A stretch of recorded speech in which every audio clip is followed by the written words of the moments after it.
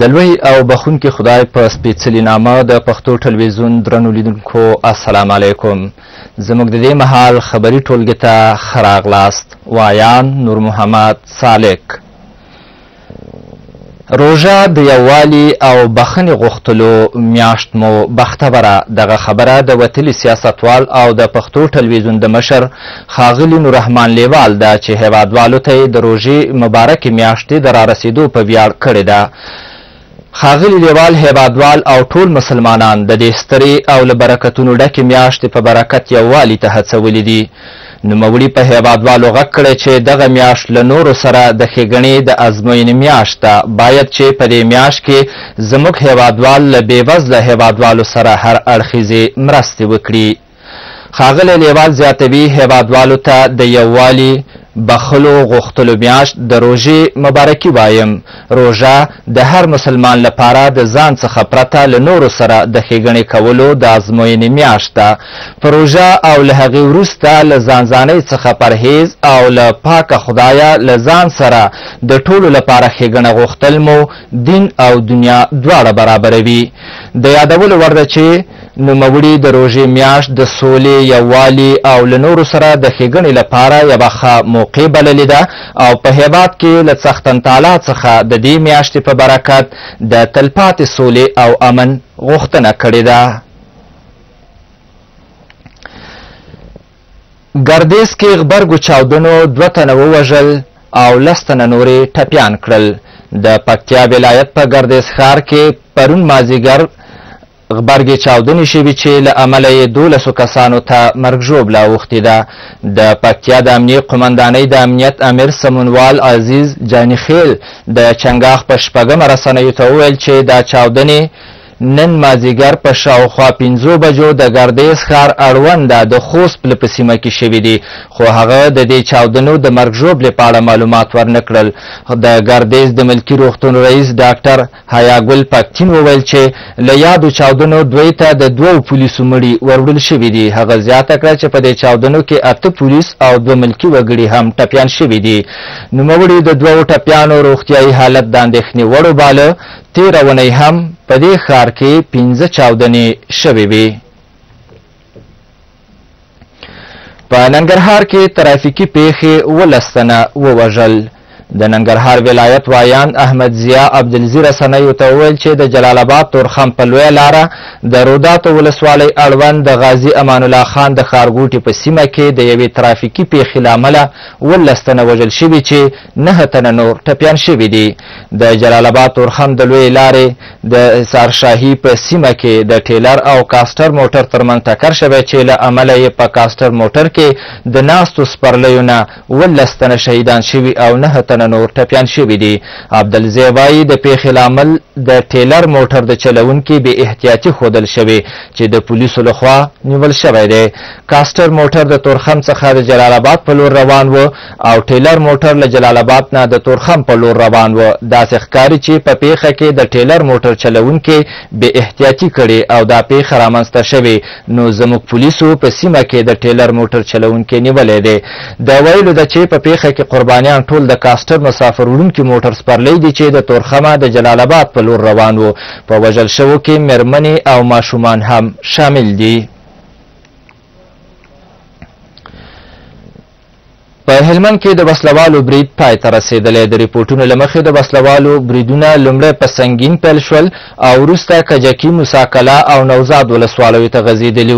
د دفاع وزارت وایان ظاهر عظیمي په کابل کې په یو خبري کانفرانس کې ویل چې افغان ځواکونه د بشري ځواک او نورو امکاناتو له نشتوالي سره نه وو مخامخ او په بریالیتوب یې وسلوالو ته ځواب ورکړ د خبري اژانس ته وویل دغه برید چې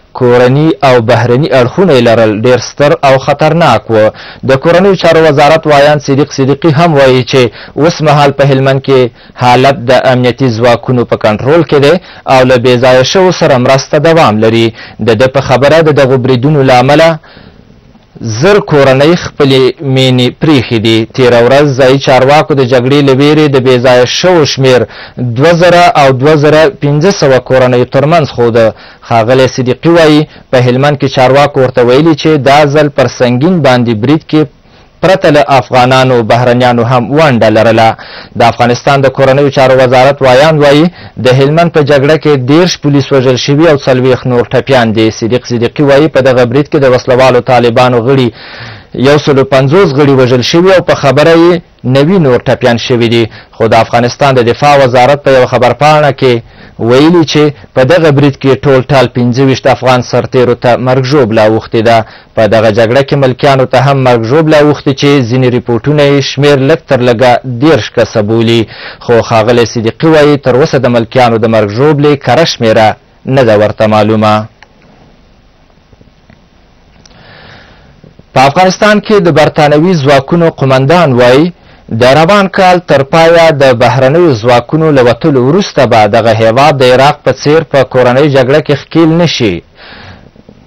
جان لوریمر رسنیو ته ویلي، په افغانستان کې روان حالت کاملا د عراق له حالته بل ډول دی. د بریټانیا مخکیني لوی درستیز لارډ ریچارډ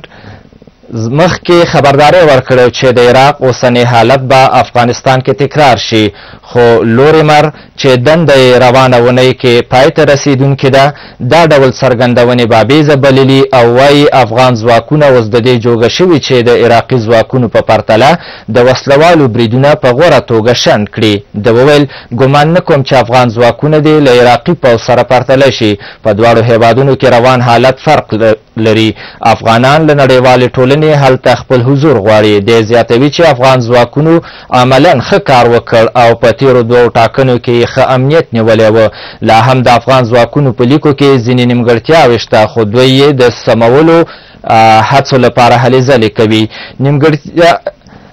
نیمګړتیا مو په نښه کړې، نړیواله ټولنه به یې له پوره کولو د پوره کولو په برخه کې همکاري وکړي. لوېدیځو هېوادونو تر دوه زره ولسم کال پورې د افغانستان د امنیت ټینګولو لپاره هر کال د څلور میلیاردو ډالرو مرستو ژمنه کړې، خو څلور میلیارده ډالر نور به د افغان ځواکونو د راتلونکو وړتیاوو په پیاوړتیا ولګول شي. هغه دې پوښتنې ته په ځواب کې چې ایا د عراق تجربه به په افغانستان کې تکرار شي وویل چې هېڅکله هم داسې نشي کېدی.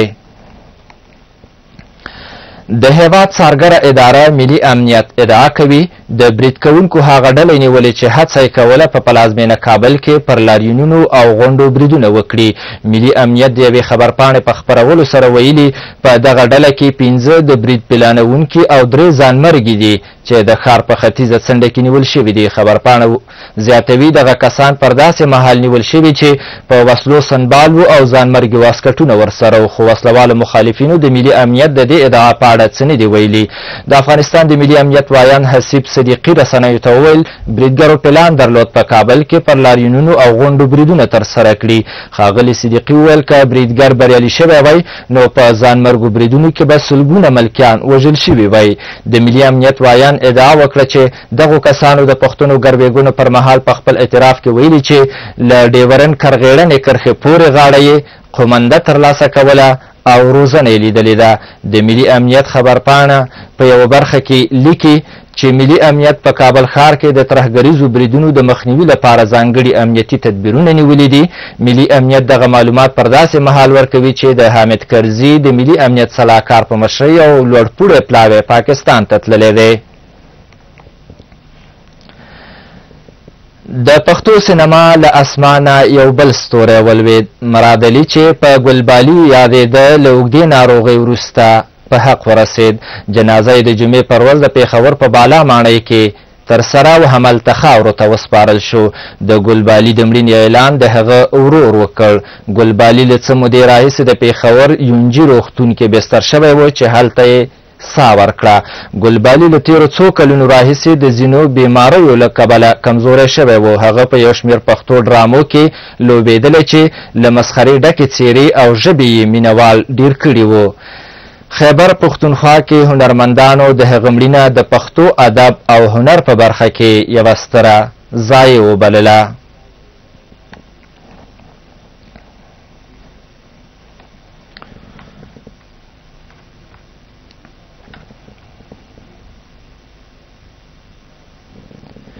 د پښتو ټلویزیون درنو لیدونکو کورني خبرونه همدلته پای ته ورسېدل بهرني خبرونه له لږ ځنډ وروسته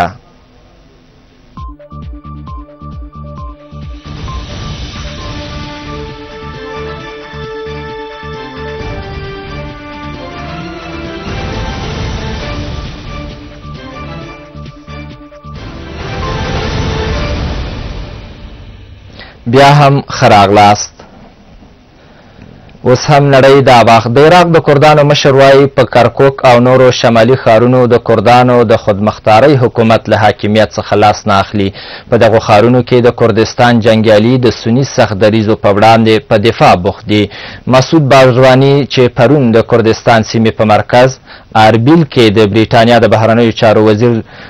ویلیم هیک سره یو کانفرانس ته خبرې کولې وویل کرکوک خپل حیثیت اوس ترلاسه کړی دی هیک د خپل سفر په لړ کې پرون په اربیل کې و د سفر موخه یې د عراق د شیعګانو سنیانو او د کردانو د سیاسي مشرانو هڅول دي چې خپل اختلافات یوې خوا ته پرېږدي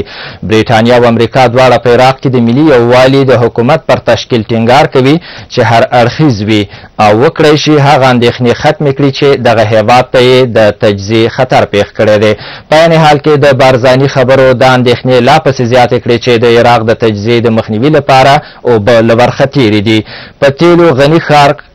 کرکوک د عراق په شمال کې پروت دی چې ګڼ قومونه پکې ژوند کوي. دا هغه جنجالي سیمه ده چې عراقي کردان له څو لسیزو راهیسې هڅه کوي په خپله خودمختاره سیمه کې یې شامل کړي، کله چې د تېرې میاشتې په لومړیو کې د عراق او شام د اسلامي حکومت وسله والو او سني قبایلو ملیشو د عراق په شمال کې پرمختګ وکړ، د عراق پوځ له سیمې ووت، د عراقي حکومت د پوځیانو دې ناڅاپي وتلو تر ډېره په کرکوک ښار کې د واک تشه رامنځته کړه، خو د کردانو امنیتي ځواکونه چې پېشمرګه یې بولي، دستي هلته ځای پر ځای شول. د عراق صدراعظم نوري المالکي د ملي یووالي د حکومت د تشکیل وړاندیز رد کړی دی. ده په هغه ټلویزیوني وینا کې چې د څلورنۍ په ورځ یې وکړ، د ملي یووالي د حکومت د جوړولو غوښتنه د عراق د اساسي قانون او سیاسي پروسې په وړاندې کودتا وګڼله، خو مالکي تایید کړه چې د سیاسي اقداماتو ترڅنګ په القاعده پورې د تړلي د عراق او شام د اسلامي حکومت د وسله والو د ځپلو لپاره پوځي اقدام ته هم اړتیا ده. امریکا د جماعت الدعوه په نوم ټولنه یوه تروریستي ډله وبلله د امریکا د بهرنیو چارو وزارت د جماعت الدعوه په نوم ټولنه چې په پا پاکستان کې فعالیت کوي یوه تروریستي ډله وبلله له دې سره به د امریکا له اصولو سره سم د دغې ټولنې ټولې شتمنۍ کنګل شي. جماعت الدعوه خپل ځان یوه خیریه ټولنه بولي، خو تر ډېره د لښکر طیبه ډلې اړوند د یو عمده سازمان په سترګه ورته کتل کېږي. پاکستان مېشته لښکر طیبه ډله په هند کې د یو شمېر بریدونو په طرحه کولو تورنه ده. په دغو بریدونو کې په کال کې د په دوه زره اتم کال کې د بمبئي برید هم شامل دی چې یو سلو شپږ شپېته کسان پکې ووژل شول. جماعت الدعوه داسې مهال د امریکا له خوا تروریستي ډله وبلل شوه چې ناټو ځواکونه له افغانستانه په وتو دي او بلخوا پاکستان او هندي سیال یې پر کابل د نفوذ په تړاو له یو بل سره مقابله کوي. پاکستان په تاریخ کې د لشکري طیبه په څېر ډلې په هند کې د پټو معلوماتو د پټو یا نامعلومو بریدونو په ترسره کولو کې کارولي ده.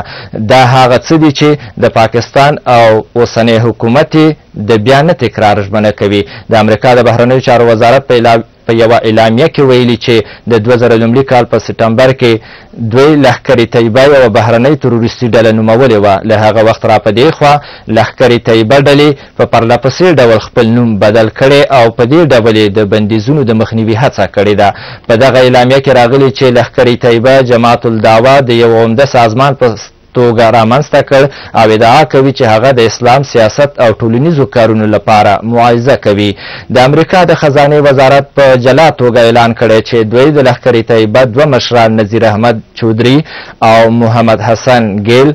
نړیوال تروریستان نومولي دي او پر هغوي اقتصادي بندیزونه لګولي دي. خو د جماعت الدعوه یوه وایاند یحیی مجاهد دا ادعاوې رد کړې دي. هغه ویلي چې سازمان یې د پاکستان د خلکو لپاره خیریه چارې ترسره کوي او زیاتوي چې دوی له لښکري طیبه او تروریزم سره هېڅ تړاو نه لري. مجاهد ویلي چې له وړاندې د لاهور د محکمې او د پاکستان د سترې محکمې له خوا یې د چارو سپیناوی شوی دی، له همدې کبله وایي د امریکا دا پرېکړه دوی ته مهمه نه ده. مجاهد دغه راز د پاکستان د حکومت له خوا هغو هڅو ته هم اشاره وکړه چې وایي په دوه زره اتم کال کې د بمبئي تر بریدونو وروسته د جماعت څو مشران تعقیب او د دې سازمان د بندولو هڅه یې کړې وه خو د پاکستان